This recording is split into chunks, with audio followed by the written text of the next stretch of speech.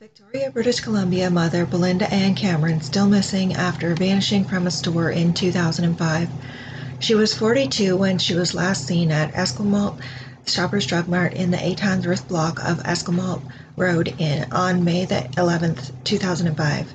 She was reported missing on June the 4th, 2005, and an investigation began, and as a series of searches was launched, her daughters are now adults and are trying to understand what happened. Police are committed to giving the family closure and believe somebody can point them to answers. Belinda has not been found, and the investigation has led police to believe that her disappearance was suspicious and that she was the victim of foul play. Somebody likely knows what happened to her. The file is still being investigated. Victoria Police Department notes that they are committed to finding out what happened to Belinda and are looking to bring closure to her and her family.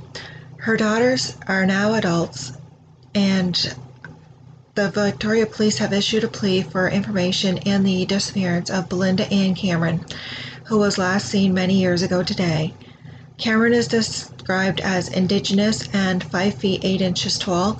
At the time of her disappearance, she weighed approximately 170 pounds with a medium to large build and brown eyes. She had long, dark brown hair, which was parted in the middle, and anyone with information is asked to call the Victoria Police Historical Case Review Unit at 250 995 7390.